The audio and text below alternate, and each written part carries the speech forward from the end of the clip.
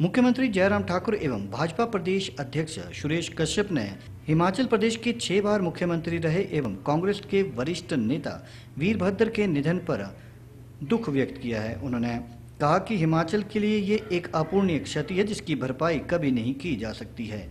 उन्होंने कहा कि हिमाचल के विकास में वीरभद्र सिंह का योगदान हमेशा अनुकरणीय रहेगा, जिसे कभी भी भुलाया नहीं जा सकता है। इस मौके पर उन्होंने कहा कि इस दुख की घड़ी में भाजपा परिवार भी शोक संतप्त परिवार के साथ खड़ा है और ईश्वर से प्रार्थना करता है कि वे दिवंगत आत्मा की शांति एवं शोकुल परिवार को संभल प्रदान करें।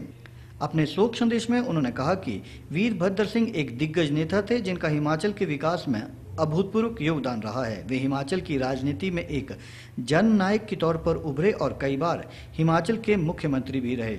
वे अपनी दूरदृष्टि, संवेदनशील स्वभाव और कर्मठ व्यक्तित्व के लिए जाने जाते थे।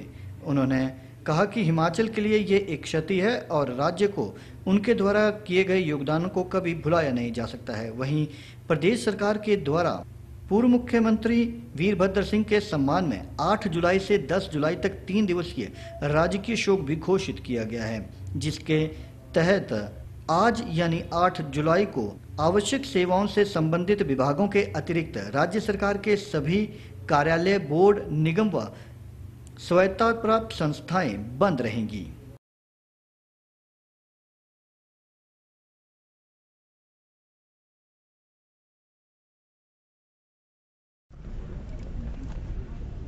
वीरभद्र सिंह जी एक इंसान इंसान के रूप में और एक नेता के रूप में पूरे हिमाचल प्रदेश में। और हिमाचल के साथ साथ में मैं कह सकता हूँ केंद्र की राजनीति में भी रहे तो उस वक्त अपनी पहचान बनाने में जो है वो सफल रहे हैं। और लंबे समय तक प्रदेश का नेतृत्व छः बार लग अलग अलग समय में जो है वो बतौर मुख्यमंत्री हिमाचल प्रदेश में रहे और उसके पश्चात केंद्र में मंत्री रहे। हमेशा उनने हिमाचल के हित की बात केंद्र में बतौर मंत्री के नाते और हिमाचल प्रदेश में मुख्यमंत्री के बतौर काम करते हुए जो है वो बहुत प्रखर ढंग से रखी।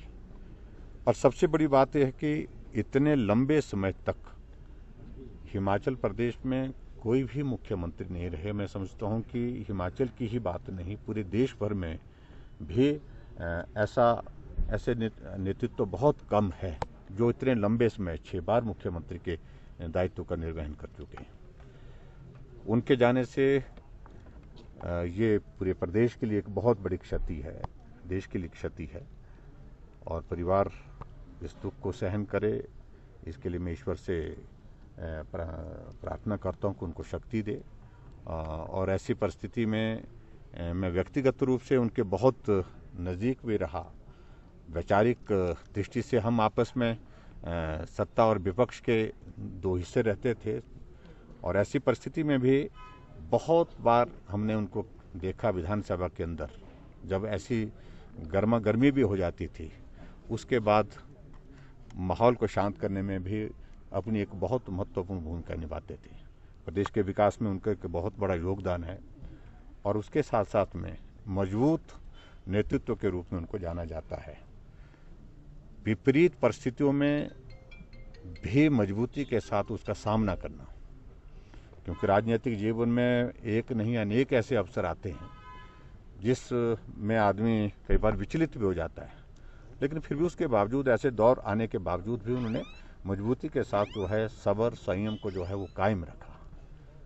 हिमाचल प्रदेश की राजनीति में कांग्रेस पार्टी में मैं समझता हूँ कि उनका एक बहुत बड़ा कद था और कद के साथ साथ में बहुत बड़ा नेतृत्व उन्हें अपने हाथों से खड़ा किया है।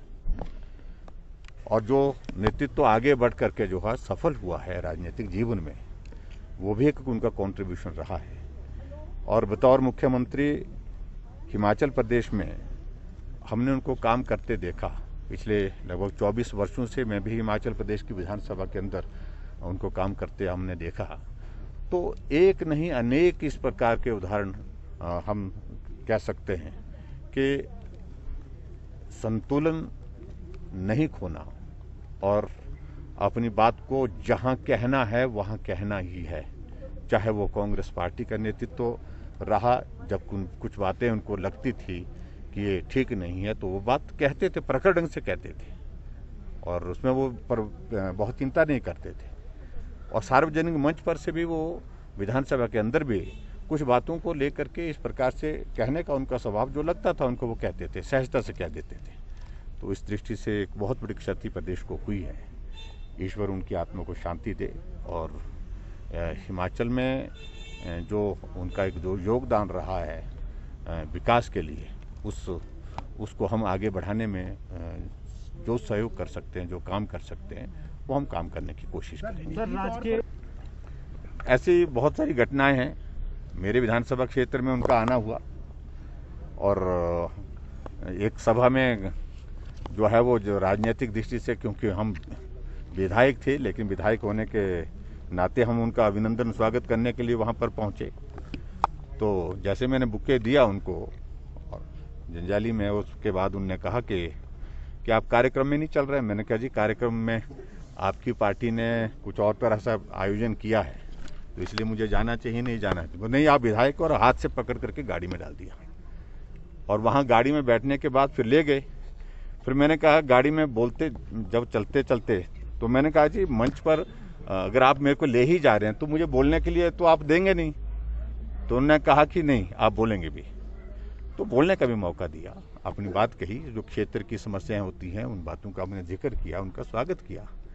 तो बहुत आनंद के साथ फिर हमने भोजन किया, इकट्ठा किया।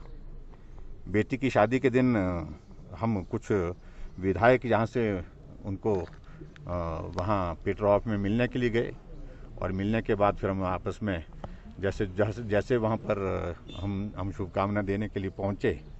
तो बहुत ज़ोर से उनने गले गले से गले से लगा करके जो वो फ़ोटो बहुत वायरल भी हुआ, काफ़ी ज़्यादा। तो उस सारी चीज़ को लेकर के फिर परिवार के जो, उनके जो समझी पक्ष के जो थे रिश्तेदार, उनके साथ भी परिचय कराया। तो मेरे बारे में इतना ज़रूर कहने लगे कि भाई, ये अलग आदमी है। तो ऐसे करके कहने लगे कुछ बातों को लेकर के। लेकिन बहुत आनंद के साथ जो है वो जब मिलते थे, एक अनुभूति होती थी कि हम किसी शख्सियत को मिले। की शोक घोषित किया है। आज के दिन की हमने छुट्टी की भी घोषणा करने का निर्णय किया है और पूरे राजकीय सम्मान के साथ उनकी अंत्येष्टि करेंगे।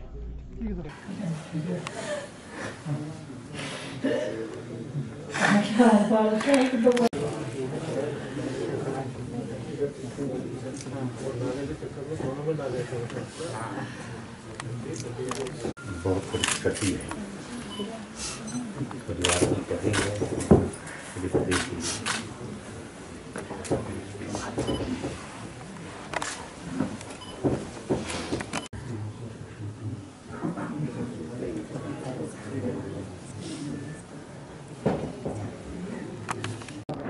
इस अवसर पर मैं प्रभु से कामना करूँगा कि उनकी आत्मा को शांति दे और उनके परिवार को इस दुख को सहने की क्षमता दे। बाकी आ, मुझे भी विधायक के रूप में पाँच वर्ष तक उस समय कार्य करने का मौका मिला जब श्री वीरभद्र सिंह जी प्रदेश के मुख्यमंत्री थे। और हमने देखा कि हर हर बात को और हर क्षेत्र के बारे में एक पूरा तजर्बा उनको था, कौन सा क्षेत्र कहाँ, किस प्रकार से, कहाँ का विकास करना है, कौन सा व्यक्ति किसका, किस प्रकार का महत्व है, हर बात को समझते थे। और मैं बताना चाहूँगा कि जब मैं पहली बार विधायक बना और मेरे विधानसभा क्षेत्र में आए, और वहाँ एक कार्यक्रम था, कार्यक्रम में मुझे जाने का मौका भी मिला और उसके बाद मुझे बोलने का मौका भी दिया, क्योंकि नहीं तो ऐसा होता है कि कई बार विपक्ष के विधायक को बोलने का मौका नहीं दिया जाता। और मुझे बहुत खुशी हुई जब मैं पहली बार विधायक बना था उन्होंने मेरा हाथ पकड़ कर कहा कि ये बच्चा अपना है। और आ, मैं उस बात को लेकर मुझे आ, उन्होंने कहा कि अपना बच्चा है विधानसभा में कम बोलता है। मैं साथ ही था तो मैंने बोला मैं बोलता हूँ सर। नहीं नहीं बोलते हो थोड़ा कम बोलते हो। तो मुझे बहुत अच्छा लगा कि उन्होंने ऐसा करके संबोधित किया कि अपना बच्चा है। और कुल मिलाकर जब भी हम उनके पास किसी भी काम को लेकर आए सदा ही उनका आशीर्वाद हमको मिला। निश्चित रूप से ये ना केवल कांग्रेस पार्टी के लिए, अभी तो पूरे प्रदेश के लिए एक बहुत बड़ा नुकसान हुआ है। तो मैं अब यही कामना करूँगा कि प्रभु उनको अपना चरणों में स्थान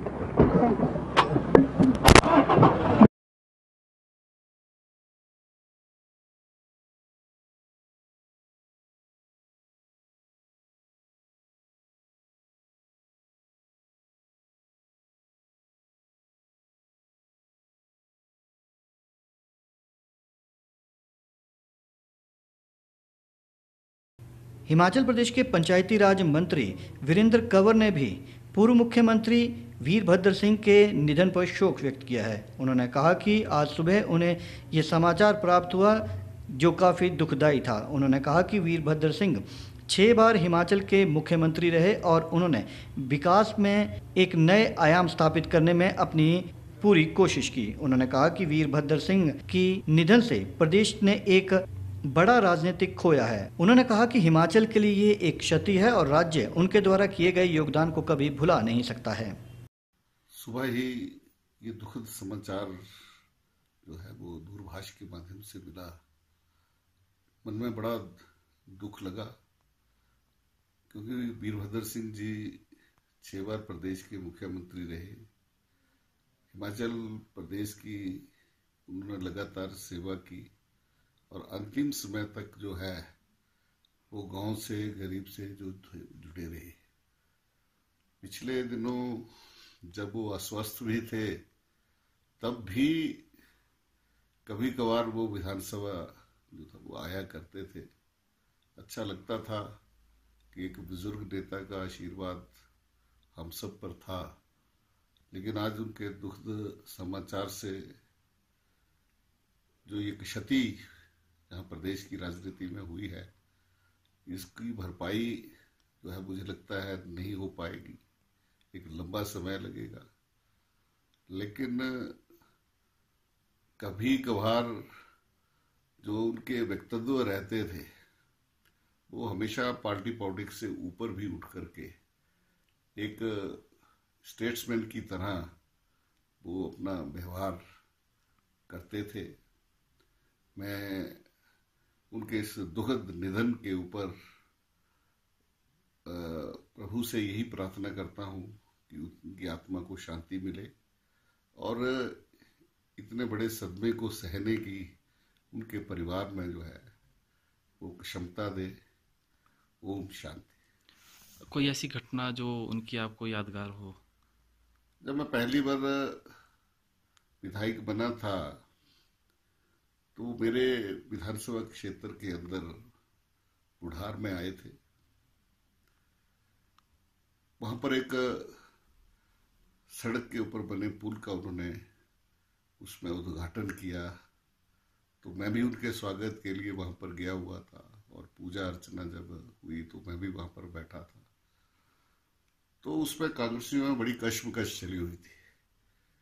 नारेबाजी अलग अलग कर रहे थे। तो उन्होंने मजाकिया अंदाज से मुझे बुलाया, कहता कंवर जी, इधर आओ।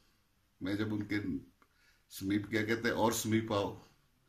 और उन्होंने वहाँ से एक, वहाँ से अपने अंगूठे में तिलक लगाया और उन्होंने मेरे, मस्जिद के ऊपर जो है वो तिलक लगाया। कहते, मैंने तेरे, मैंने आपको तिलक लगा दिया। अब जाओ।